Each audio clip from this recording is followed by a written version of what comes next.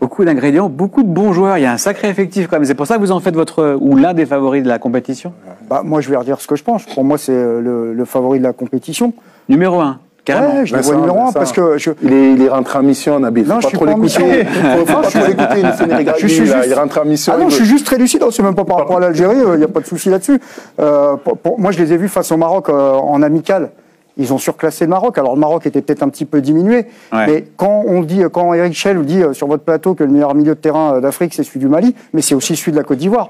Quant à Sangaré, euh, Caissier, Non, Eric Schell dit meilleur terrain du monde ouais, du monde. au Mali. Mais voilà. Mais quand, quand tu vois ce milieu de terrain-là, c'est c'est quand même très impressionnant. Ah, Il y a sûr, beaucoup ouais. de sélections européennes ou sud-américaines qui n'ont pas un tel milieu de terrain. Et parmi les meilleures sélections de ces continents-là.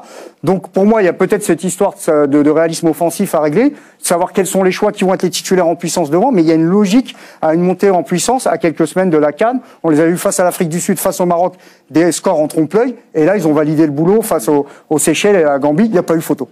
C'était loin. C'était ma deuxième, ma deuxième sélection, je crois. Deuxième ou troisième.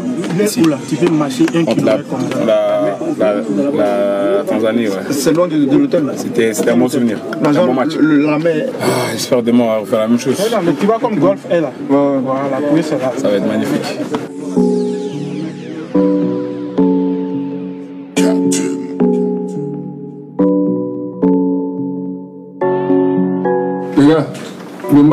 Dernier, là, il servait à rien si on ne gagne pas aujourd'hui. Je dis la vérité. Il servait à rien. Rien du tout, même. Le président a dit on a 10 matchs. On en a joué un. Là, il en reste 9. Sinon, je dis c'est les finales. Et il nous reste des finales. Aujourd'hui, c'est une finale. C'est pas un match où on doit faire match. Non, non, non. C'est une finale. Et les finales, ça, ça se gagne. Et l'état d'esprit qu'on a montré à l'hôtel, à l'entraînement, il faut que ça se voit pendant le match. Donc aujourd'hui, il faut tout donner. Là, on a, en, en face de nous, on a une équipe qui a perdu. Ils vont tout donner. Ils vont tout donner. Ils vont tout donner. Là, ils vont venir à fond. C'est à nous d'être intelligents et de riposter comme il faut. Et le coach, il a dit, on a joué en solidarité, mais il faut que ça continue comme ça. Et ce match d'aujourd'hui, là, je il faut pas qu'on passe à côté. Il ne faut pas qu'on ait déréglé. Il faut qu'on ait fond. Allez, les gars. On l'a, ce qu'on est venu chercher, on l'a. Ok? Si on met le second, on met le second. Mais on ne prend pas le but. Ok? Allez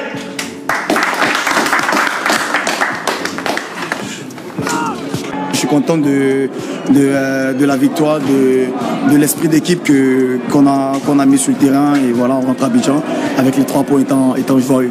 On est content. C'était un match serré, fermé. On a réussi à mettre deux buts. On a fait un clean sheet avec. On a, on, a encore du tu dis clean sheet. Clean sheet, on n'a pas pris de but. Zéro but. Zéro but. D'accord 11. On va la verra. Et 6 points. Donc finissez bien l'année dans vos clubs. Soyez très performants, jouez le plus possible et on se retrouve bientôt. Mais bravo, franchement, avec tout ce qui s'est passé, c'est bon. Allez. Voilà pour ce reportage euh, en inside chez l'un des favoris de, la compétition. Il y a eu pas mal de turnover chez les éléphants euh, pour ce match contre la, Gambie, mais l'impression qui reste, c'est que cette sélection est de plus en plus solide à un mois de la Cannes. Est-ce que vous êtes d'accord? Oui, c'était deux matchs, euh, c'était deux matchs importants et comme l'a dit Jean-Louis Gasset, le sélectionneur, hein, zéro but encaissé sur les deux rencontres, peu d'actions concédées. Sur les deux rencontres, bon, face aux Seychelles, c'était notre adversité. Vers, face à la Gambie, on aurait pu s'attendre à, à autre chose. Je pense que Tom Saint-Fit s'est peut-être un peu trompé sur sa, sur sa, sur sa tactique parce qu'ils Ouais. sont pas venus chercher les Ivoiriens qui ont pu s'installer rapidement dans, dans, dans, dans la rencontre et puis après la, la dominer. Mais on a vu sur les rares fois où, où la Gambie est, est- est sortie, il y avait des choses euh, intéressantes. Mais euh, sur le plan comptable, il y a eu des buteurs différents du côté de, de la Côte d'Ivoire, des joueurs qui ont eu du temps de jeu. Donc effectivement, c'est euh, un très bon rassemblement, une très bonne trêve et euh, internationale pour, pour la Côte d'Ivoire. Je vous vois au pays du chef. Euh, Serge, vous êtes d'accord sur cette idée de solidité ivoirienne Alors qu'ils n'ont joué que des matchs amicaux jusqu'à jusqu'à ces deux-là. Oui, oui, non, effectivement, je suis tout à fait d'accord. hein. On sent une solidité, on sent une équipe euh, homogène, on sent une cohésion. Euh, après, euh, là, on voit hein, qu'il y a une colonne vertébrale quand même qui, qui se dégage avec un, un bon gardien, euh, Fofana. Euh, une défense euh, centrale euh, solide avec Ndika, Ndika et, euh, et Willy Bolly. Deux joueurs qui ont envie de prouver aussi, qui étaient Ndika, lui, qui vient d'arriver, mais Willy Bolly qui, euh, qui est pas totalement installé encore, mais même si ça fait un moment qu'il est là. Donc des joueurs qui ont envie de prouver. Ouais. Et puis euh, devant, bah, forcément, au milieu, euh, Fofana, euh, Caissier. Euh, et devant des, des jeunes joueurs aussi qui ont envie de prouver, c'est important ça en équipe nationale d'avoir des joueurs qui ont faim, euh, des jeunes joueurs qui, qui sont là, qui, qui apportent du, du nouveau. Et forcément, euh, bah, l'ensemble de tout ça, euh, avec Adin Grak, moi j'ai- que j'aime beaucoup, euh, ailier gauche, euh, Traoré qui rentre aussi maintenant dans, dans ce 11, ça fait beaucoup de- d'ingrédients et C'est c'est- ça annonce pas mal de bonnes choses. Selon Nabil Djelit, la Côte d'Ivoire est le grand favori pour remporter sa propre canne en Côte d'Ivoire. Salut à toi et bienvenue dans cette vidéo. Dans cette vidéo, on va parler de la Côte d'Ivoire. On va essayer de voir si la Côte d'Ivoire c'est le grand favori. Mais avant de commencer, si tu me découvres à travers cette vidéo, ici, nous, on parle de foot. Ici, nous, on est passionné par le foot. Donc, si tu es intéressé par la thématique, si la thématique te parle, n'hésite pas de t'abonner, d'activer la cloche de notification pour ne rien manquer des prochaines vidéos. C'est parti. Alors, les amis, selon Nabi consultant sur Canal+, il a dit que la Côte d'Ivoire, c'est le grand favori. Il n'a pas dit, il n'a pas dit l'un des favoris. Il a dit le grand favori pour remporter la canne en Côte d'Ivoire, sa propre canne. Est-ce que tu es d'accord avec lui ou pas? Déjà, on va revenir un tout petit peu sur la Côte d'Ivoire, les gars. La Côte d'Ivoire, il y a d'ici là deux ou trois mois, c'est une équipe qui était complètement en rodage. En rodage, voire même, certaines personnes disaient même que c'est une équipe qui ne va pas traverser au premier tour. C'est vrai, hein? Certaines personnes ne voient même pas la Côte d'Ivoire traverser le premier tour. Et puis, patatras, tout a changé en quelques jours. Ils gagnent aux Seychelles 9-0. Ensuite, ils battent la Gambie 2-0. Franchement, c'est de très belles performances.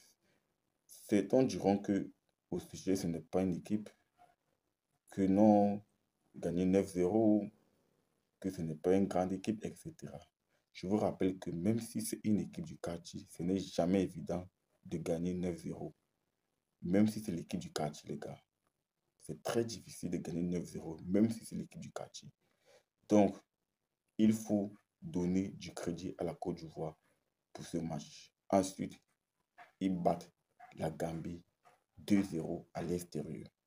On parle quand même de la Gambie, les gars. On parle de la Gambie. Ce n'est pas n'importe qui. La Gambie, c'est une équipe qui est très difficile à jouer, très difficile à manœuvrer. Ils remportent ce match et ça leur donne confiance, etc. Là où je n'ai pas précisé, c'est que ils gagnent la Gambie avec une équipe remaniée. Ce n'était pas l'équipe type. Et Sébastien Allais était sur le banc. Il y avait beaucoup de joueurs cadres qui étaient sur le banc. Ils ont fait confiance à Diakité. Donc, euh, ça prouve que cette équipe a du répondant, a un, un réservoir. Ils ont un réservoir de joueurs incroyable. Et ça, c'est aussi à mettre au crédit du coach, hein, parce que ce n'est jamais évident de construire un groupe cohérent, surtout lorsque tu coaches la Côte d'Ivoire. On sait que la Côte d'Ivoire, c'est une équipe qui a des stars, c'est une équipe qui a des égaux, parce que qui dit star dit égaux, tu dois gérer les égaux de tous ces stars-là. Ce n'est pas évident. Ce n'est pas vraiment évident, mais Jean-Luc Gasset est en train de faire un travail incroyable. Ce n'est pas facile, mais il y arrive.